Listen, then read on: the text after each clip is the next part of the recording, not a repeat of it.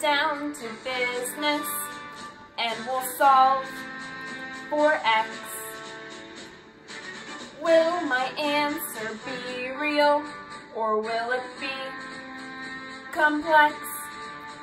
There's a simple equation and I know just what to do. Teacher, I'll solve for x just for you.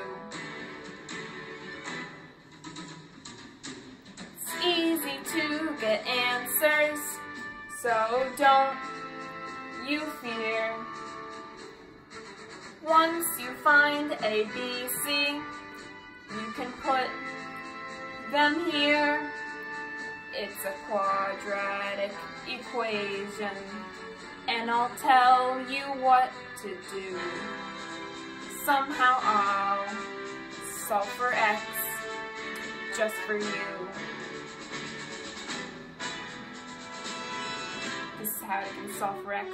I'll put b plus or minus square root of b squared minus 4ac. Take it all over to a. Hope the answer isn't complex. Now I really wish that I could factor this. So for x, you could check the discriminant.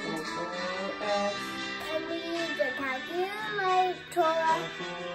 With all the power of the quadratic, mysterious as the square root of a negative. If you want to graph this, then you need to find intercepts aplenty. You must use your mind. C is the y-intercept. For x, there's none, 1 or 2. That's why I'll solve for x just for you. Solve for x. You could check the discriminant. Solve for x. And we use the calculator. Solve for x. with all the power of the quadratic, mysterious as the square root of negative.